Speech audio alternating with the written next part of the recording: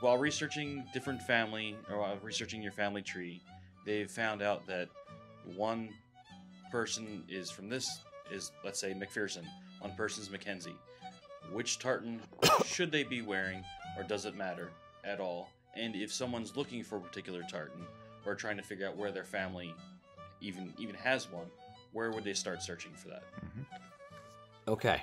That was several questions all at once. Classic, classic thing though. Yes. Um, the first place to search, there's this website I've heard of. Huh. Beautiful website, very, very well designed, great prices on stuff. Um, USA USAKilts.com, I believe. Yes, that's oh, it. those guys. Those guys. Yeah, they're they're very nice guys. Mm, Yeah. All right, all right. Um, go to our website, search on the surname that you're looking for or last name for us Americans. Um, and if there are any clans that are associated with that name, the the tartan will pop up. Right. Um, or districts or Irish counties. yes, what he said. Um, what do you wear if you have multiple? Great question. Glad you asked. The sorry again, long day. The there's if you have McPherson, McDonald, Stewart, and a few different ones. Historically speaking, traditionally speaking, as it were, you would go through your paternal line. So whatever your father's name was, or his father's name was, or his father's name was, that's generally how it would come down. That being said, let's say you're adopted and you don't know, or let's say your you know, your parents got divorced and your dad was a jerk and ran off with somebody else, or your dad was never in the picture. Then go through your mother's line. It's it's all personal to you. This is all about you. That's the point. It's what you feel comfortable with, what you want to wear to represent your heritage.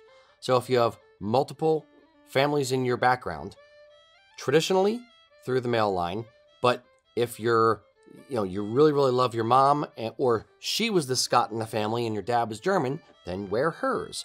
Or if they're both Scottish, there's nothing wrong with wearing both. In Scotland, generally Not at the same time. yes, please God, not at the same time. Not at the same time. In Scotland, generally the answer is you pick one, that's your tartan, that's what you wear, done.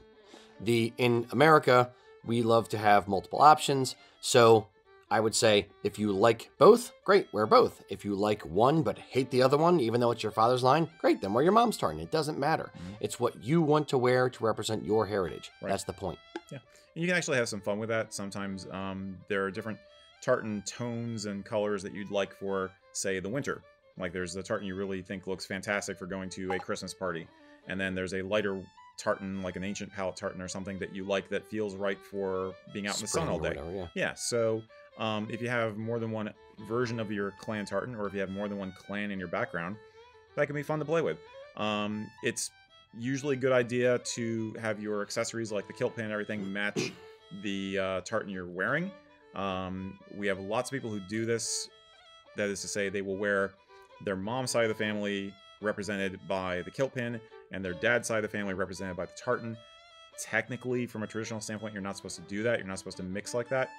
We have guys who do that all the time. So that's going to be a your mileage may vary kind of a thing. But um, you don't have to feel hidebound by any of this stuff, basically.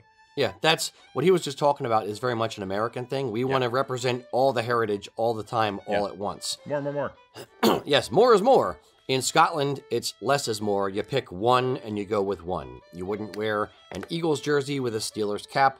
It's you pick one. Which team are you representing today? And that's what you go with. So either you're on Clan Stewart or you're on Clan McDonald. You're not a McDonald kilt pin with a Stewart kilt. Mm-hmm.